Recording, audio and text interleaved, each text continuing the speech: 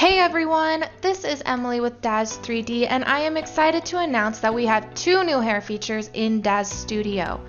This video is going to be a quick rundown of these new hair features. They are very customizable so you will want to play around with the features and customize the hair any way you'd like. The first feature that we are going to discuss is dForce Hair. This feature works just like the dForce clothing. You can morph the hair and simulate it so that it falls as it would naturally on the figure. So the first thing that you will want to do is select the hair in the scene pane. And if you go down to the surfaces pane, on the right side you'll see all of these options for you to customize the hair. So let's say that our figure went out in the rain and now his hair is looking a little flat. We can change the iterations on the hair to zero, simulate it, and that hair will be flat against his head. Now when you render it, you will be able to see this more clearly. This is very customizable, so you can play around with the settings in the surfaces pane to make this hair really look however you'd like. The next hair option that we have added to Daz Studio is strand-based hair. This hair is even more customizable. You can add hair to any part of the body and fully customize it. First, select the hair in the scene pane, and then you will need to update and merge menus. This is just to get the feature added into Daz Studio. Go to Window, Workspace, and click on the Update and Merge Menus option. Now, to customize the hair, go to Edit, Object, Strand-Based Object you will see that the strand-based hair editor appears. Under the Setup tab, you can select whatever part of the body you want the hair to apply to. Now, under the Paint tab, you will select which specific parts of the body you want to add hair to. So I want to give him a hairy chest, and I really want to give my figure some hairy arms. I'm just going to paint over the places that I want to apply the hair, and then I'll go to the Distribute tab and you will see the hair applied to the places I selected.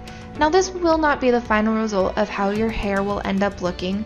It's just to give you an idea of where the hair is applied on the body. You can also change the hair density and the color here is for the color if you render in 3Delight.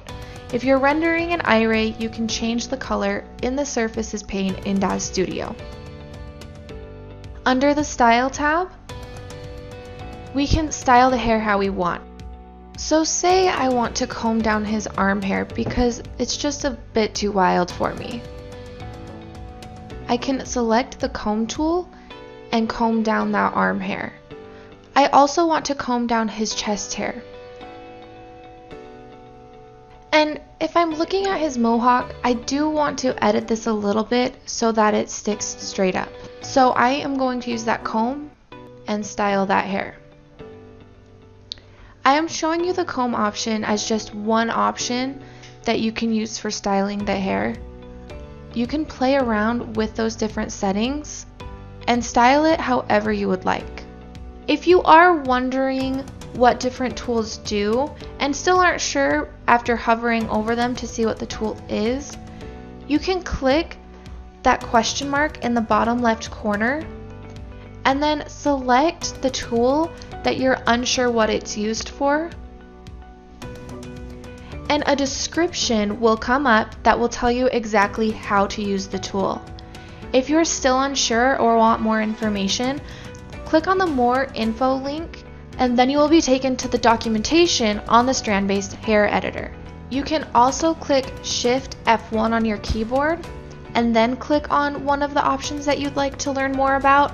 This will do the same thing, it is just a keyboard shortcut to find more information on these features.